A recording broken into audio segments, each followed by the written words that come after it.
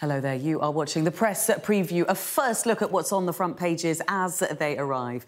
In the next half hour, we'll see what's making the headlines with the journalist and author Rachel Shabi and the editor of the Jewish Chronicle, Jake Wallis Simons. Uh, so let's see what's on some of those front pages and a quick spoiler uh, warning for Strictly fans who have not yet seen the result. You might want to look away for the next minute or so. You have been warned. Uh, the Sunday Telegraph leads with the resignation of the Brexit Brexit Minister Lord Frost over disagreements concerning relations with the EU and Northern Ireland. The Sunday Times describes Lord, Lord Frost's departure as indicating a deepening crisis for Boris Johnson. Describing the country as held hostage by the virus, the Sunday Express looks at the conflict between the increasing danger of the Omicron variant and the desire of Tory backbenchers to avoid new restrictions. Well, the Sunday Mirror understands the Prime Minister has been briefed by government scientists that there could be as many as 3,000 people a day going into hospital with the virus in January. According to the Sunday People, by Christmas Day, 50,000 NHS staff could be absent from work because of Omicron. Scotland's Sunday Mail puts that figure at 5,000 in that part of the UK alone. And on a lighter note, uh, here's why we gave that spoiler warning. Uh, the Star congratulates this year's winner of Strictly Come Dancing. Uh, and we're joined uh, tonight by Rachel Shabi and uh, Jake Wallis Simons. Welcome to you both. Lovely to have you both on uh, this evening. Um, let's start with the timing of Lord uh, Frost's resignation. I mean, obviously, uh, the timing today, but, but also uh, the timing not quite uh, soon enough to get into some of the front pages for tomorrow morning. Uh, I notice uh, certainly the Sunday Mail, the Daily Star, the Scotland, Scotland on Sunday as well, haven't managed to get it onto their front pages if they were going to. many of them holding back, I think, in order to try and get this news on the front page. Lord Frost says he handed in his resignation a week ago before uh, the North Shropshire by-election defeat of the Conservatives. I wonder whether you think he was trying to stick the knife into Boris Johnson, whether the timing of this suggests it's another uh, knife in Boris Johnson after, uh, well, two or three weeks now of, uh, of issues and scandals for him and his leadership. Uh, Rachel, what do you make of that? Well, whether or not he intended to stick the knife in the knife has definitely been stuck in to Boris Johnson and his leadership. Uh, the Sunday Times is describing this as a, as a crisis, a deepening crisis now engulfing the Prime Minister, as you say, coming days after that just bodying in, in the Shropshire by election, where you know they lost a historic and safe seat in a in a catastrophic way. So you know it does seem that support is just disappearing from Boris Johnson and his leadership. And this resignation is going to be a really, really serious blow. I mean, David Frost is a key ally um, and a key um, player in, in Brexit, of course. Um, I'm not so sure that it is just disagreement over uh, the direction of travel over the government. I suspect, you know, David Frost, one of the architects of Brexit, has realised that you know it is a bit of a square peg in a round hole. Whenever, especially when it comes to um, the no- negotiations over the Northern Ireland Protocol, and to leave in the middle of those negotiations is also pretty damning, just in and of itself. Mm, mm, very interesting. Uh, certainly, the, the Times uh, leading uh, with this tomorrow. Frost uh, resigns, uh, and the Telegraph. Uh, Frost, the prospect of a winter lockdown as well. Frost quits cabinet as Johnson considers Christmas lockdown. The implication there that Frost is quitting over this issue, over these COVID issues, rather than anything else.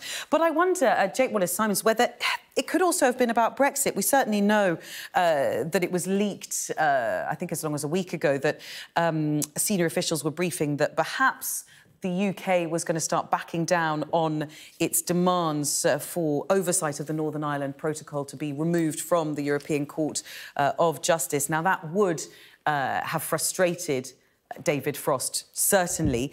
Do you think it is all about uh, COVID measures and national insurance rises, or do you think there is part of it that is about the direction Brexit was taking?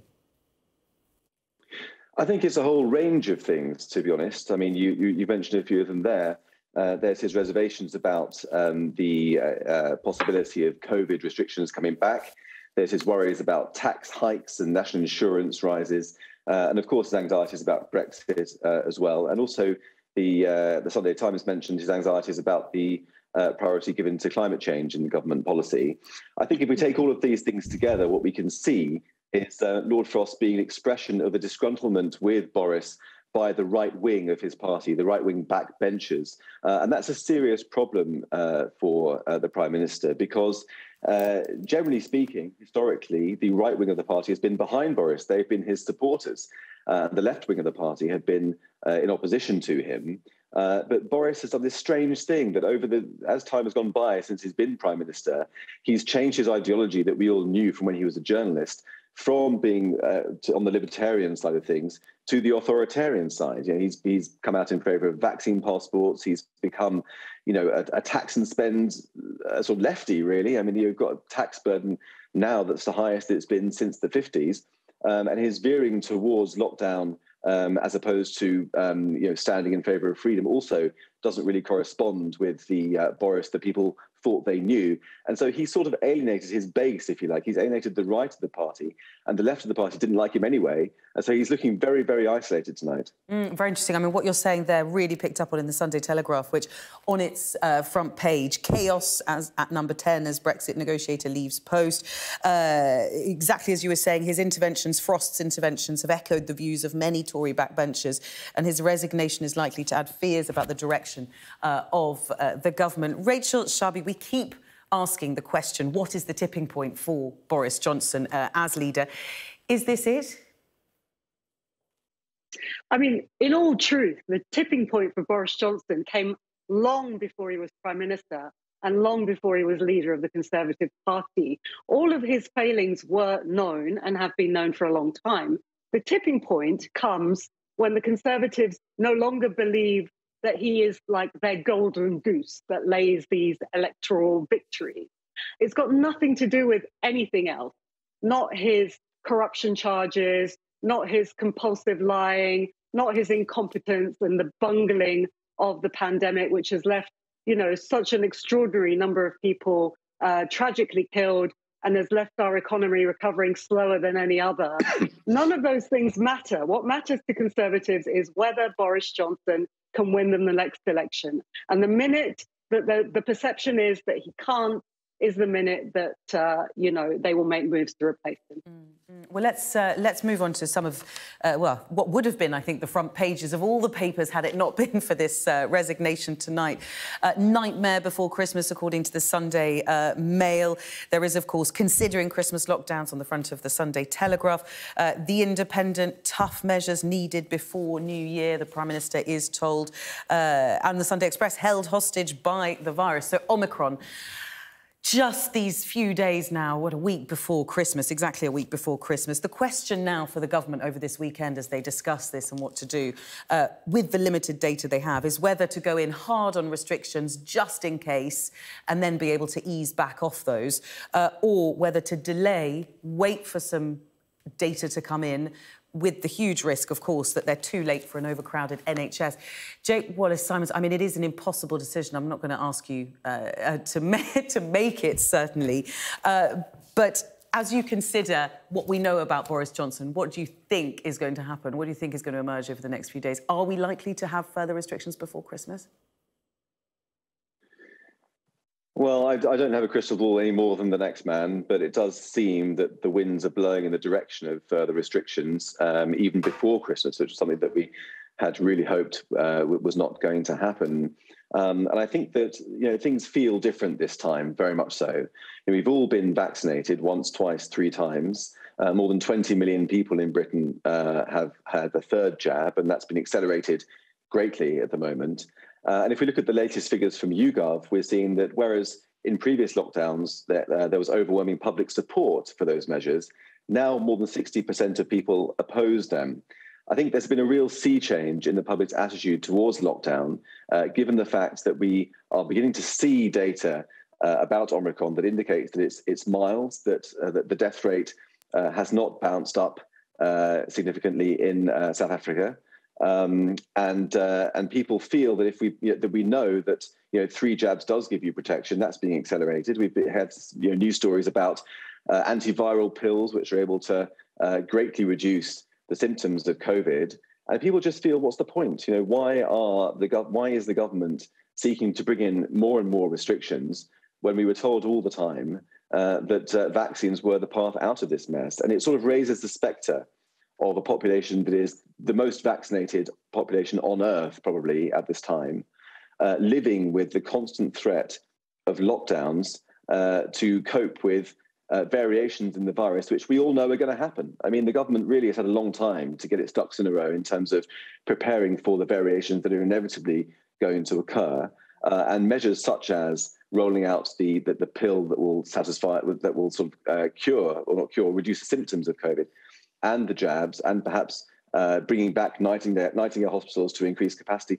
Those sorts of things really should have been done by now. I think the public is getting really sick and tired of lockdowns.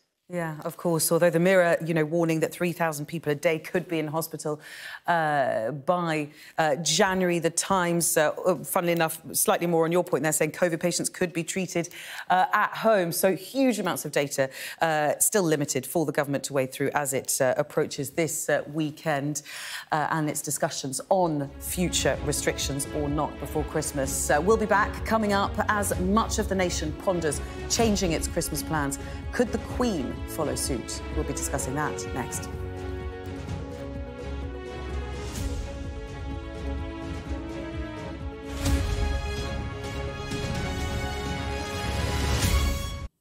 Welcome back. You're watching the press preview. Uh, with me now, Rachel Shabi and Jake Wallis uh, Simons. And let's go straight back into uh, our papers this evening uh, with the fact that it's not just all of us who are now looking at our Christmas plans and thinking what's going to be feasible, what's not. The Queen is also looking at her festive plans. Uh, that's according to the Sunday Telegraph. Rachel, tell us a bit more about that.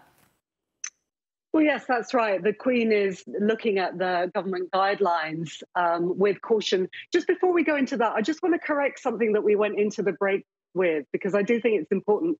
I'm not a scientist, but I have been following what scientists have been saying about Omicron. And I just want to say that so far there's absolutely no evidence to suggest uh-huh. that Omicron is a milder, milder variant of COVID. That's just not known. We can't copy paste the experience in Southern Africa onto the UK. And the other thing is that, um, you know, the reason to go into a circuit breaker would be to allow more people to get the booster jab and to prevent the NHS to, from getting overwhelmed, not least because so many NHS staff are getting sick um, it's not the case that the UK has one of the most vaccinated populations in the world either. Plenty of people in the UK are not vaccinated, including in London, which is one of the reasons why London has such a high uh, vaccination uh, infection rate. So I just wanted to come back on those two points. But as you say, the Queen is looking at her um, Christmas plans. Uh, like everyone else, she is having to reappraise, uh, particularly looking at the numbers of people who are due to be invited to celebrate on the day itself. And her aides are suggesting that uh, those plans are now being revived.